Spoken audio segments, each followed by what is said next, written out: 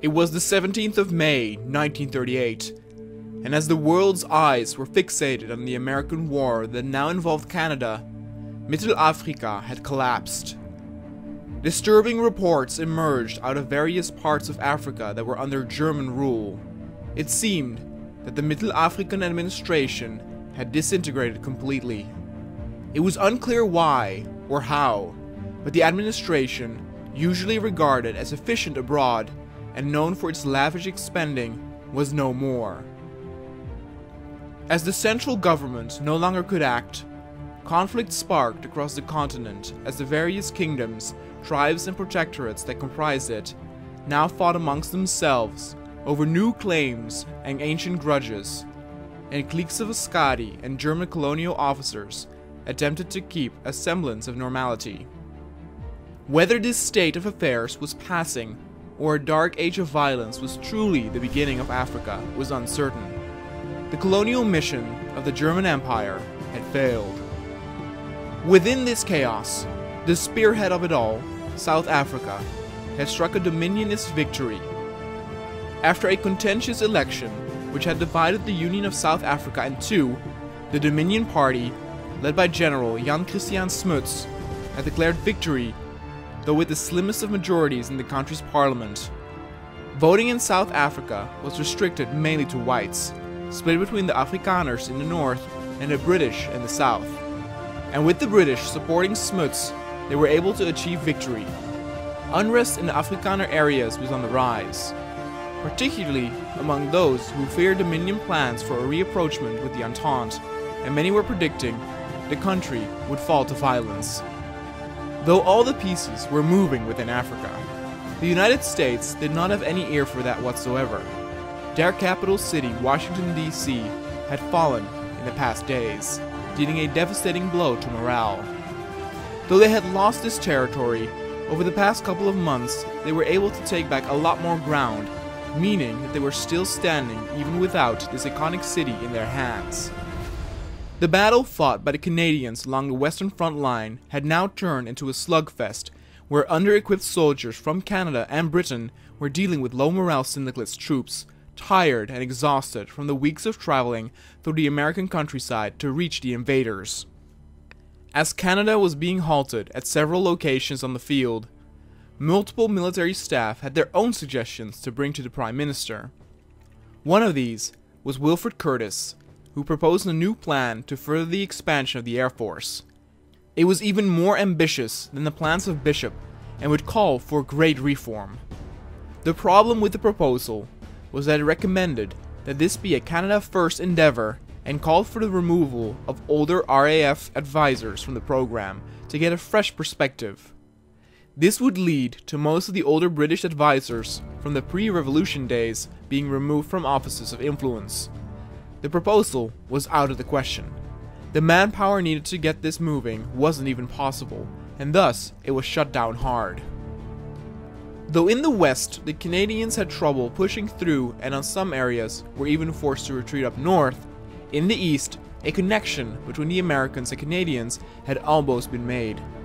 A large group of 2 to 3,000 syndicalist troops divided the two factions, though a small workaround connection was established earlier. Along the shore, French ships waved the flags of victory in support of the war and to signal that help was on its way. The countryside was divided by big lakes and rivers, making the crossing and mobility of the infantry very poor. Though the held territory by the 3,000 syndicalist troops decreased each day, they were still not able to break through.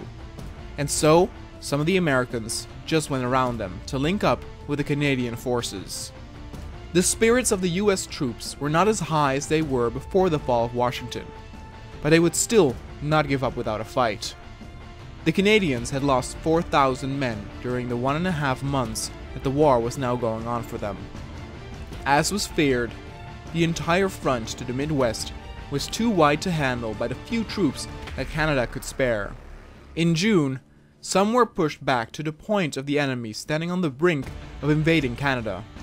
In Europe, Bulgaria, that had settled in its new governments in the Balkan states, had declared war on the Ottoman Empire that was still interwoven in battles all throughout.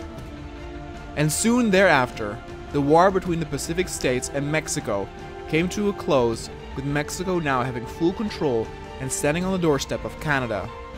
And then the syndicalists indeed invaded Canada as multiple areas along the front were wiped out or forced to retreat. But from the east, through the connection established between the Canadians and the US, American soldiers headed in to help their northern brothers. The expansion of the Canadian invasion was quickly halted as the Americans had the enemy surrounded. The link up had done wonders as Americans poured into the Canadian lands and were resupplied and fed. In the east of Canada, the first of the Portuguese had arrived ashore and were on their way to the battlefield to stand side by side with their allies. Though the initial help of the Americans kept the syndicalists from heading deeper into Canadian territory, it did not avert the CSA to head into the country from a different angle. Currently, the Americans did not have enough troops stationed there to keep border watch everywhere.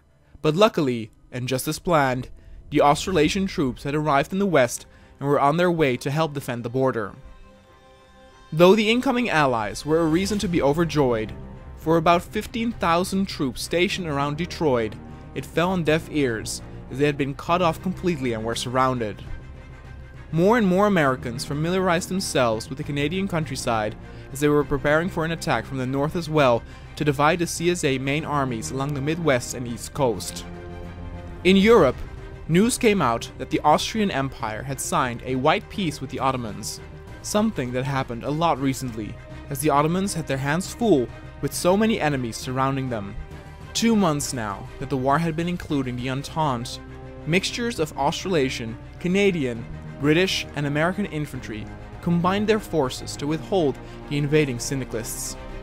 But the CSA received help from allies as well, as Russia had sent in some of their best men a few who were involved in the surrounding of the cut-off Detroit troops. To make things worse, the connection between the Americans and Canadians had been split as well. The split was not large, and higher-ups believed they would able to link up again within the next two weeks. With so many troops and supplies needed to traverse through Canada, King Edward believed it of the utmost importance to improve infrastructure to allow quick passage for each and every one and everything. The Americans and Canadians could really use some positive news, and this arrived in the form of acknowledgement that the Portuguese and West Indies faction had successfully pulled off a naval invasion to the south of the US forces.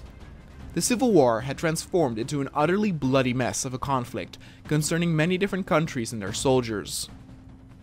Sardinia, small but noble, also had set foot on American soil to help protect it from being further diminished by the syndicalists.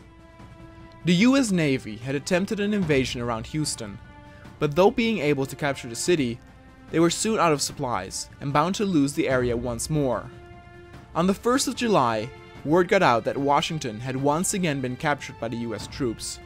Battles above the city still raged on with planes looming at one another. It was at the Second Battle of Washington where ace pilot Francis Hastings, known under the call sign Moose, had distinguished himself in not only returning alive from the recent mission over Northeast, but living through significant victories in many critical encounters.